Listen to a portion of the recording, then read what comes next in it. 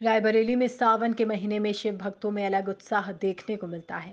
हर तरफ़ बम बम भोले के जयकारों के साथ कांवड़िए नज़र आते हैं।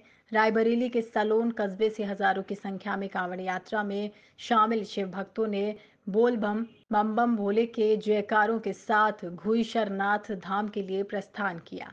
आयोजक अजय वाजपेयी ने बताया कि ये यात्रा शाम को 60 किलोमीटर की तय करके प्रतापगढ़ ज़िले के लालगंज कस्बे में स्थापित प्रसिद्ध घुईशरनाथ धाम पहुंचेगी, जहाँ शिव भक्त भगवान शिव का गंगाजल से अभिषेक करेंगे। क्या नाम है आपका? आज यात्रा कहाँ से कहाँ तक लेकर जा रहे हैं?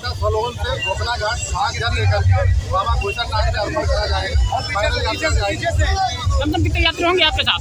लगभग दो हज़ार यात्री और प्रशासन की क्या सुविधाएँ हैं? प्रशासन की सुविधा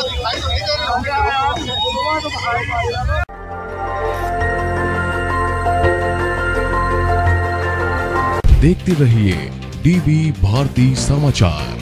नज़र हर खबर पर।